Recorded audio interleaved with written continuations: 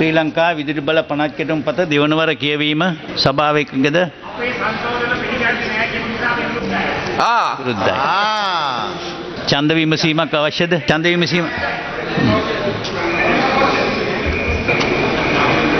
දැන් ඡන්දය පාවිච්චි කිරීමේ අවස්ථාව දෙවනිවර කියවීමට පක්ෂව කොළ පාට වි- විපක්ෂව රතු පාට.